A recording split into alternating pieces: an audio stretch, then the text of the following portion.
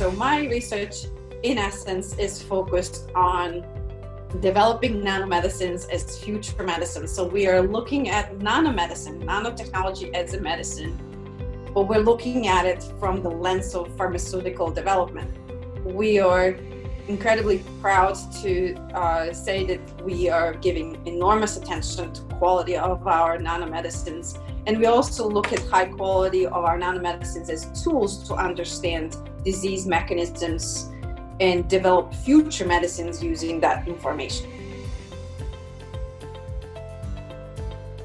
But Duquesne University is incredibly unique because it has this very Spiritan infused um, collaborative spirit that enables people to find their path uh, and it's incredibly supportive environment. It is very natural at the Duquesne campus to collaborate across schools uh, with people that do different types of work.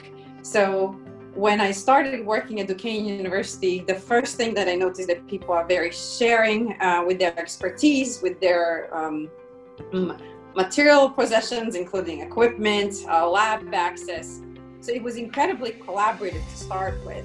When I joined Duquesne University, I had this one path of research, which was cancer nanotechnology. But very soon, I, uh, I expressed a passionate interest in studying pain.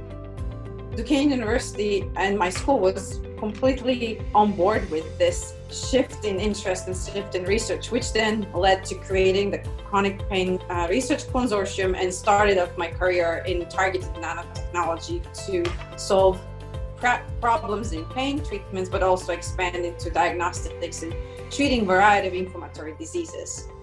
Because of this collaborative and open mindedness of Duquesne University, I was able to pursue my passion in research in almost unrestricted ways.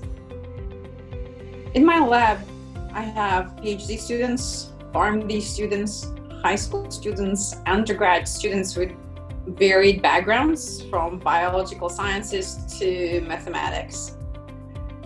The core of our laboratory is collaboration, and they're encouraged to collaborate and engage with each other and with our other collaborating labs that we work with to learn from one another, to encourage each other to speak the language of another discipline